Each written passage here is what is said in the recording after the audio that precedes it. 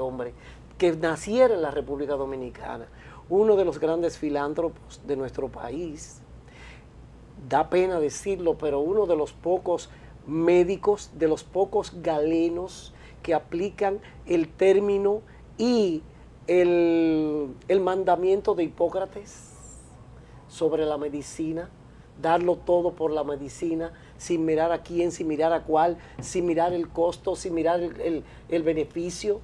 Nuestro querido Cruz Jiminián. Nuestro Cruz Jiminián, eh, Antonito, Antonio Cruz Jiminián, el doctor Cruz Jiminián, nos brindó la oportunidad de llegar a su templo, sí, a su casa.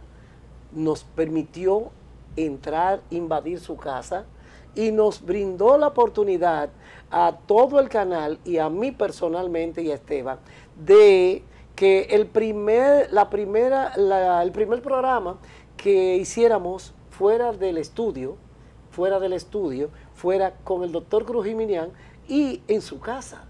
Es maravilloso, nos emocionamos tanto y fueron tantas las cosas que se tocaron que hemos decidido que va a ser la primera doble entrega. Tiene dos capítulos y vamos a iniciar esta noche con Sabor a Pueblo, que estamos invitando, invitándolos de 8 a 9 de la noche con este servidor como anfitrión. Sabor a Pueblo desde la casa y con el doctor Cruz Jiminián. Adivinen qué. El doctor Cruz Jiminián, poca gente sabe que en sus inicios fue eh, seminarista, casi fue padre, casi fue padre. Fíjense dónde está la situación. El que nació para martillo, el cielo le caen los clavos. Así es. Sí, porque ¿qué hacen los curas? Ayudar. Ayudar. Ser filántropos, darlo todo por, por la gente, orientar y ayudar a todo el que no tiene nada. Pues él dejó el seminario ya casi, casi graduándose de, de, de padre. De padre.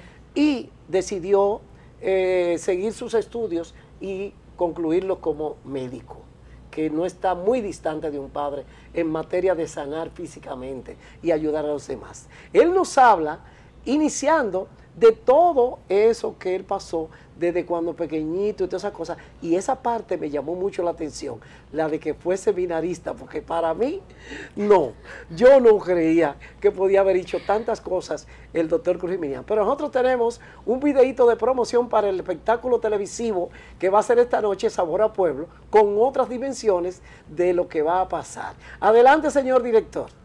La imagen que yo tengo de Petán es que era muy buena persona. ¿Verdad?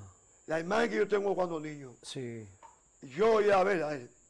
Pero Mario tenía 5, 6 o 7 años. Ajá. Pero recuerdo a Petán como una persona. Mira, ese día que tengo aquí. Ahí, recuerdo que el año 61 o 60, Navidad, Navidad de 60, porque en 61 ya yo no estaba. Claro. Para Trujillo mata en mayo.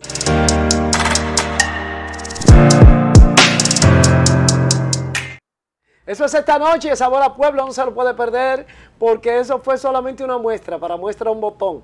La vida desde sus inicios de nuestro queridísimo, que también lo bautizamos, la condesa y yo, como el ángel del pueblo cuando estábamos en el show del mediodía. El verdadero ángel del pueblo. Fíjate si es tan tal, y vamos a tocar esos temas, que le dio el COVID.